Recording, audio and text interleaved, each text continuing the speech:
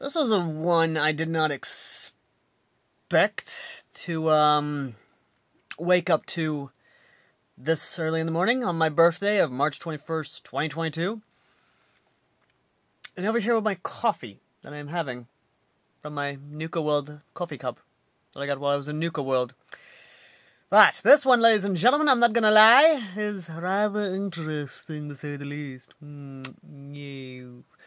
So, ladies and gentlemen, exactly what is this story? Well, it's from our favorite friend, Angry Little Elf.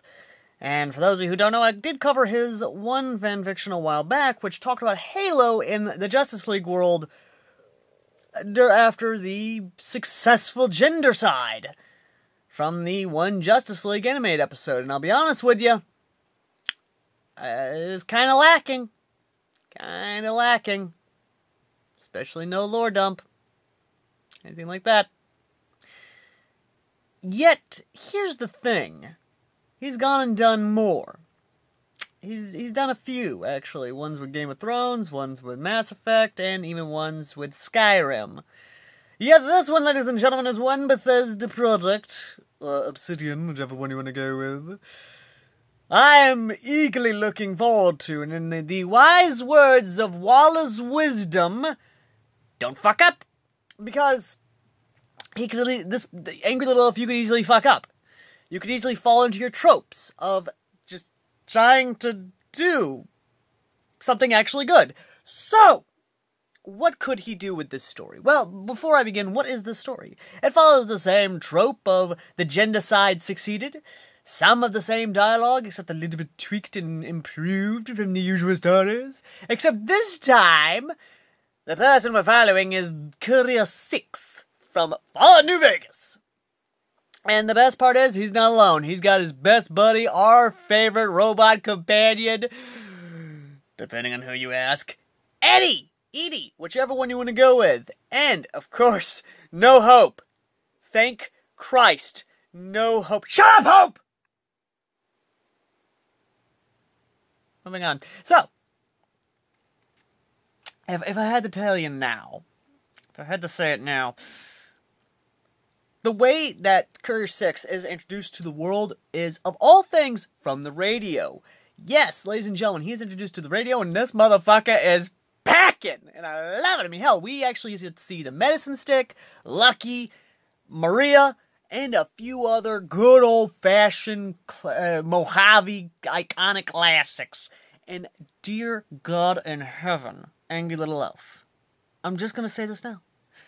Do not fuck up.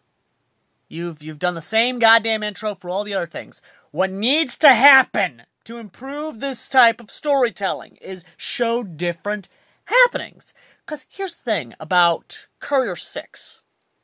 Courier 6, depending on what playthrough you've done, it's either he's independent, he's patriotic, i.e., supports the NCR and the Republic, or he's a goddamn legionary, which thank Christ we're not seeing here. Hopefully we're not seeing here. No, what I'm hoping to see is a independent Courier 6. Because if we see an NCR Courier 6, we're going to see him be support, uh, be very supportive of the goddamn government. We don't need that at the moment in this kind of world. What I would love to see, however, from this storyline is actually him seeing the world and doing what any main Fallout protagonist does. Try to help save the world, or at least try and help out that situation in time. I would love for a UN inquiry, actually. I would love for a Courier 6 to actually go on TV or go on the air and actually talk about the world.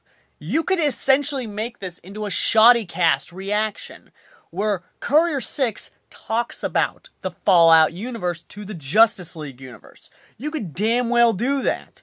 And we wouldn't felt you for it because they're technically doing an inquiry. You could build up you could you could literally build up their reaction to basically, yeah, we have a gendercide, but at least we're not a nuclear holocaust or post-nuclear fucking holocaust.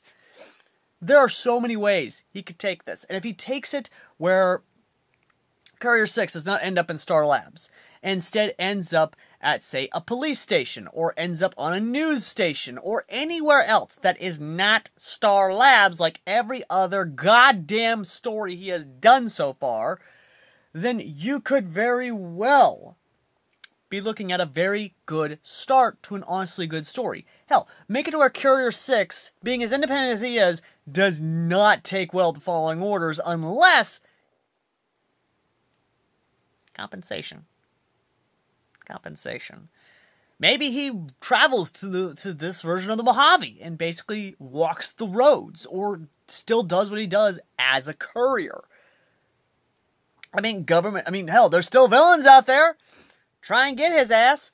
And let's face it, that's a cool concept of the courier trying to not only, of course, help mankind, you know, survive by obviously, you know, what they've done the last couple things where they donate to sperm banks, what have you, but maybe, you know, goes and uh, lays down his big iron, you know.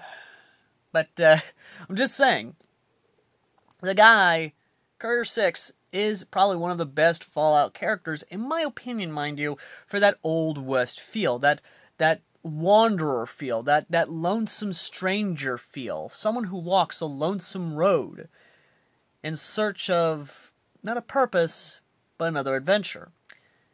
And I would love to see that spirit, that's that sort of feeling from this type. And I, I, again, it would fit the character very well, considering that they Courier Six would probably not work with the government, not work with the Justice League unless it was in their benefits. But at the same time, I could see them not be total assholes and still try to help mankind. Again, that's how I see this independent Courier 6. For those of you who, not a Legion 6, mind you, because fuck the Legion, I want to hear from you. What kind of Courier 6 is this story going to follow? What, what, what do you think is going to happen between either an independent Courier 6 or a pro NCR Courier 6? I'd love to hear your thoughts. And let me know down below what you think of Courier 6 sharing the Fallout world with this post gendercide world. Again, I'd love to hear your thoughts in the comments section. And as always, ladies and gentlemen, I've been Airsoft Al, and I will see you lovely, lovely people in the next review. Till next time, later!